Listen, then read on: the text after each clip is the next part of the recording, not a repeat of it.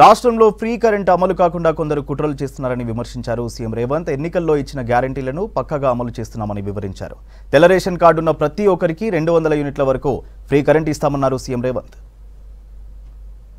వ్యవసాయానికే ఉచిత కరెంటు కాదు భూమి లేని పేదలకు ఇళ్ళలో కరెంటు బిల్లులు కూడా మూత మోగుతున్నాయన్న ఆలోచనతోని తెల్లని రేషన్ కార్డు ఉన్న ప్రతి పేదవాడికి రెండు వందల యూనిట్ల వరకు ఉచిత కరెంటు ఇస్తామని చెప్పి దాన్ని అమలు చేసినాం. ఇప్పటికీ ముప్పై ఎనిమిది లక్షల కుటుంబాలు ఈ పథకాన్ని వినియోగించుకున్నాయి. ఏడు జిల్లాలలో ఆనాడు ఉమ్మడి మహబీనగర్ జిల్లా ఈ రోజు ఏడు జిల్లాలుగా మారింది. స్థానిక సంస్థలు శాసన మండలి ఎన్నికల ఎలక్షన్ కోర్టుతోని ఆ ప్రాంతంలో జీరో బిల్లు అమలు జరగడం లేదు. దాదాపుగా నలభై రెండు నలభై మూడు లక్షల మంది రెండు వందల యూనిట్లు ఉచిత కరెంటు జీరో బిల్లు విధానాన్ని ఈ రోజు అమలు చేసినాం. ఇది అమలు చేస్తుంటే ఆయన గారి ఆనవాళ్ళు అన్ని దగ్గరలో ఉన్నాయి. ఎక్కడెక్కడ విష పురుగులను గంజాయి మొక్కల్ని నాటిండో అవి ఇంకా వాటి వాసనలు వెదజల్లుతూనే ఉన్నాయి. తెలంగాణ ఎలక్ట్రిసిటీ రెగ్యులేటరీ కమిషన్ నిన్న మాకు నోటీస్ ఇచ్చింది. మీరు సబ్సిడీ ముందుగాల సంస్థలకు చెల్లించిన తర్వాతనే జీరో బిల్ ఇవ్వాలని. ఆ మేధావికి నేను చెప్పదలుచుకున్నా ఇన్ని రోజులు రైతులకు ఉచితంగా కరెంట్ ఇస్తే ఆనాటి ప్రభుత్వం ఇరవై నాలుగు గంటలు ఇస్తుందంటే ఏ రోజైనా ఈ ఆదేశం ఇచ్చినవా?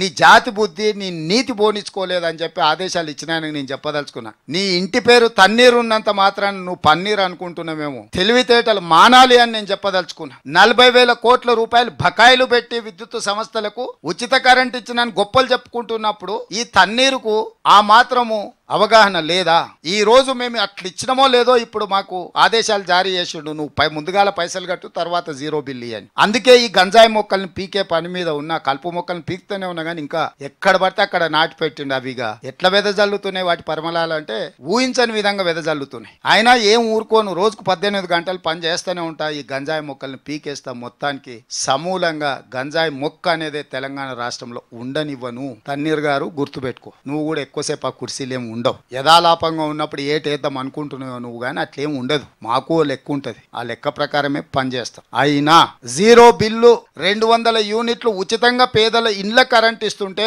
కుట్రదారులు ఫామ్ హౌస్లో ఉండి కనుసైగలు చేస్తే కొంతమంది తెలివితేటలు ప్రదర్శిస్తారు మీరు అడ్డుపడ్డా అడ్డం తొలగించుకొని అవసరమైతే అడ్డంగా మీద ఎక్కించి ఆయన ముందుకెళ్ళి పేదలకు జీరో బిల్లు పథకాన్ని అమలు చేస్తామని చెప్పి మీ ద్వారా నేను చెప్పదలుచుకున్నాను.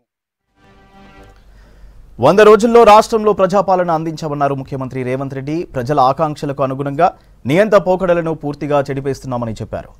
మూడు డిసెంబర్ రెండు వేల ఇరవై మూడుకు తెలంగాణ విముక్తి రోజుకు ఉన్న ప్రాముఖ్యం ఉందన్నారు సీఎం. పన్నులు ఎగ్గొట్టే వారిపై చర్యలు తీసుకుంటున్నామన్నారు రేవంత్. గత బీఆర్ఎస్ పాలనలో జరిగిన అవినీతి అక్రమాలపై పూర్తి స్థాయిలో విచారణ జరుగుతుందన్నారు.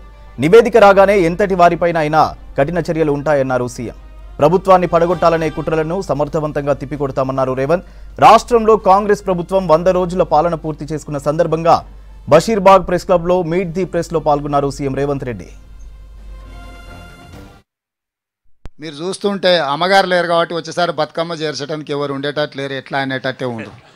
బతుకమ్మ అనేది మన నా అమ్మలు అమ్మమ్మలు వాళ్ళ తరతరాలుగా మనము చేసుకుంటున్న పండగ. కాబట్టి వాళ్ళు వచ్చి మనకు నేర్పింది ఏం లేదు. ఒకవేళ బతుకమ్మను కూడా వ్యాపారంగా మార్చి ఆట వస్తువుగా మార్చి ప్లాస్టిక్ పూలు వాళ్ళు వచ్చినాక వచ్చిన అంతకుముందేమో బంతి పూలు ఇవన్నీ సువాసనలు వెదజల్లే పూలు ఉండే. వాళ్ళు వచ్చిన బతుకమ్మలో ప్లాస్టిక్ పూలు వచ్చిన గంతే తేడా ఈసారి ప్లాస్టిక్ పూలతో చేసేటోళ్ళు లేకపోవచ్చు. కాబట్టి ఖచ్చితంగా ఆ సాంప్రదాయం కొనసాగుతూనే ఉంది. బతుకమ్మలు బోనాలు ఎవరు ఉన్నా ఎవరు లేకపోయినా తరతరాలుగా కొనసాగుతూనే ఉంటుంది.